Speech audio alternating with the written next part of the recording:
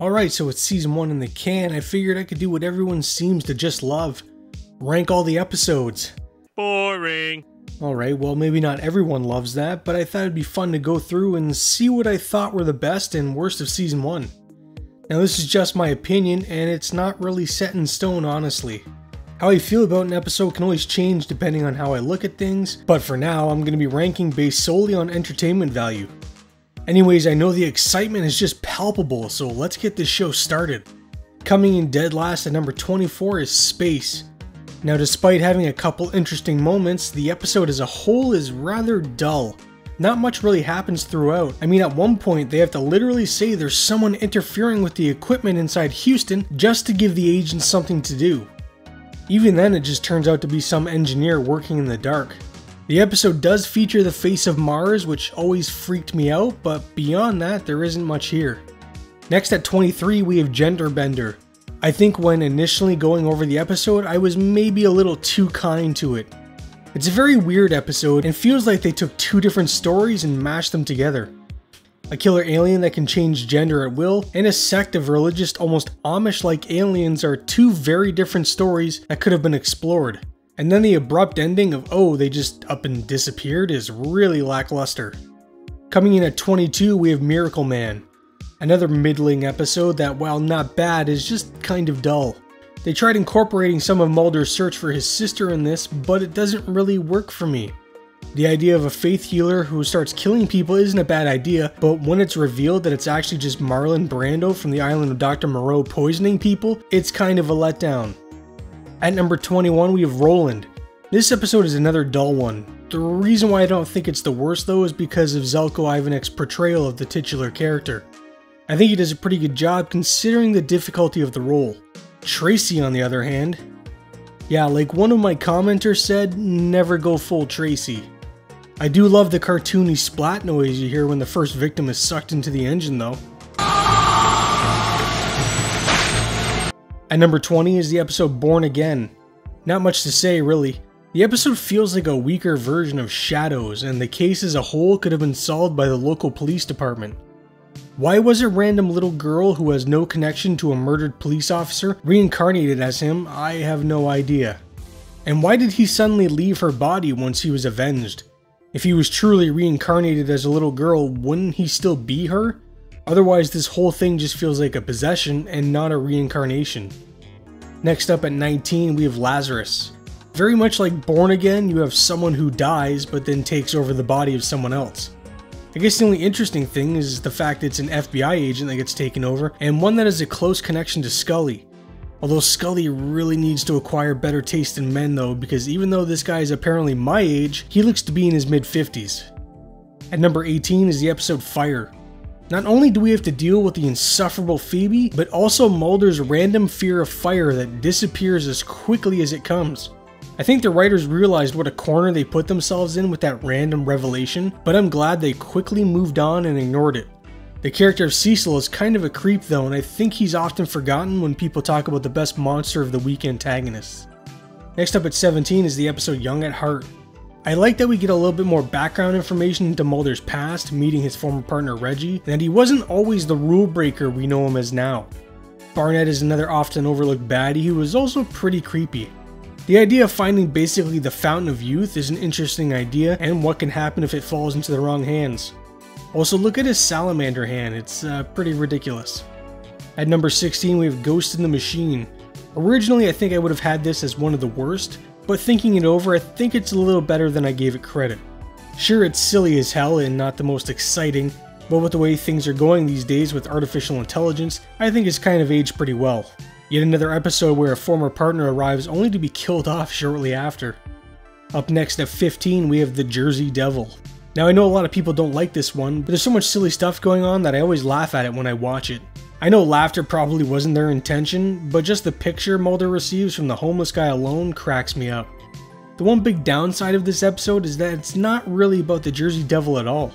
It would have been nice if they could have done an episode where they actually tracked down the real Jersey Devil. Instead, we get some naked, dirty Neanderthal woman who really just looks like a regular woman that they smudge some black makeup on her face. At number 14 is the episode Shadows. Not a bad little episode, and at least it was the first one they did where someone is trying to exact revenge from beyond the grave. You kind of feel bad for Lauren, who lost what was a father figure, but now she's also kind of being tormented by him as he uses her to uncover who murdered him and why. And I still want to know how she's able to afford a house like that working as an assistant, though. In at number 13 is the episode Shapes. Now, I think most people would probably have this one a little lower than I do, but I enjoy my classic monsters, and as by the numbers as this one is, it's still fun to see the agents investigate a werewolf even though they call it a Manitou, which it most definitely is not. At number 12, we have the episode Eve. Who doesn't love a story about creepy little murderous kids? What starts off as a mere alien abduction, almost chupacabra like story, takes a left turn when it's revealed two little girls are in fact the culprits. Now they're super intelligent, homicidal little girls, but still. With the way the episode ended, I'm surprised we never got a return of the Eves because I think it would have worked. Although, if they get out, what are you gonna do? Lock them up again? You can't exactly snuff out a couple little girls on regular broadcast television. Next at number 11, we have the episode Conduit, a good alien abduction story that helps us understand more of Mulder's obsession and search for what happened to his sister. The ending is one of the saddest things you'll see in the show, with Mulder in church staring at a photo of his sister while the tape from his hypnotic regression therapy plays. Truly heartbreaking stuff. At number 10 is the episode Fallen Angel. What starts as a generic downed UFO and alien investigation quickly changes once the character Max Fennig is introduced.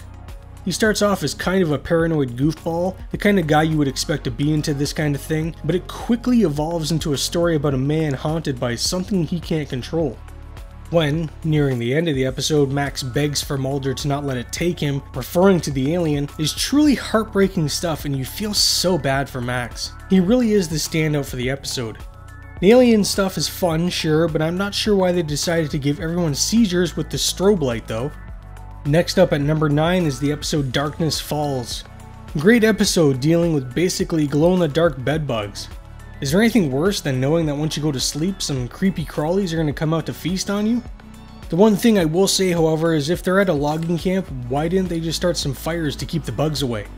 Also, if the insects attack when there's no light, well, what about shadows? I mean, if the bugs were already all over everyone, well, if they're inside your clothing where there isn't any light, why didn't they attack? I think I'm getting a little too Gremlins 2 with my thoughts here. What if they're eating in an airplane and they cross a time zone. I mean, it's always midnight somewhere. At number 8, we have the episode EBE. Mulder and Scully track down a truck carrying the remains and potentially pilot of a shot down UFO, which is great stuff, but for me, the highlight will always be the introduction of the lone gunman. These three add so much to the show, and I can't wait for them to pop back up. Besides that, it's just a strong episode that puts Mulder's quest for the truth just at the tip of his finger, but snatches it away just as quickly. Coming in at number 7 is the sequel episode Tooms. Everyone's favorite mutant makes his return and almost becomes the victim as Mulder becomes the one to stalk him. Tooms, however, uses this to nearly end Mulder's entire career. Great episode, not as good as Squeeze in my opinion, but still very solid. Doug is creepy as always, and he really doesn't have to try if we're being honest. The only real weak part for me is the way he's dealt with. The way the escalator was set up, I see no reason for Tooms to get caught up in it. Overall, though, it's a really good episode. At number 6, we have Deep Throat, a great episode that begins to expand the world of the X Files, introducing us to one of the most important characters in the first season. The mysterious Deep Throat is interesting because you never know what side he's really on.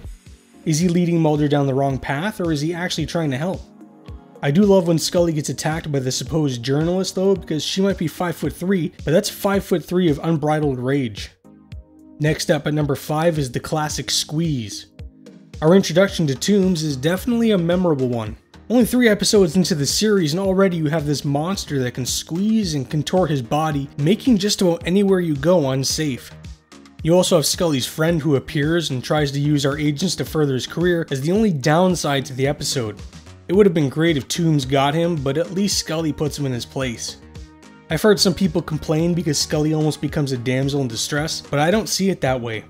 She was taken by surprise, and plus, many times throughout the series, both her and Mulder save one another, so I think those complaining are in the wrong here. At number 4 is the episode Ice.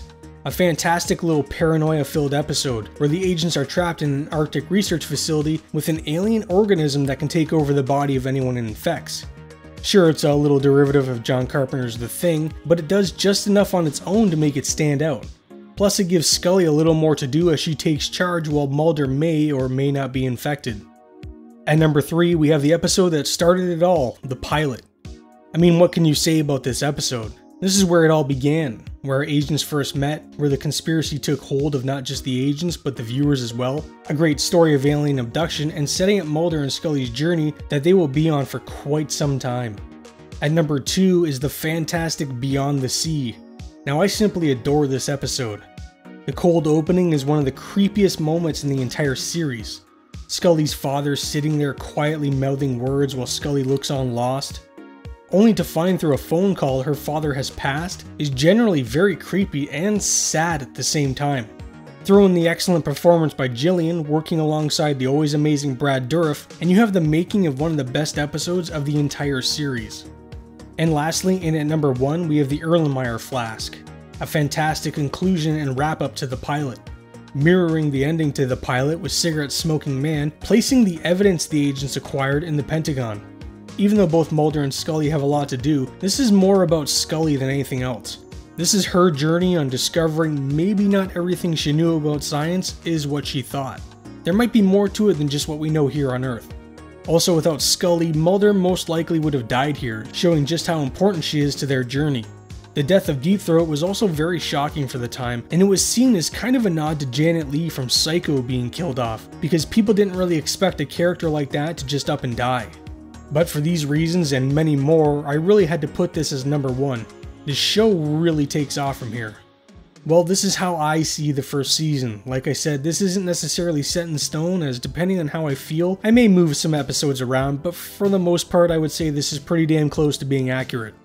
Anyways, I hope you enjoyed this ranking, and I would love to hear how you would rank it. What are your favorite and least favorite episodes of the first season? If you enjoyed this video and would like more, Please think about subscribing, like the video, share it with your friends, and turn on the bell to never miss another upload. Thank you for watching and stay spooky.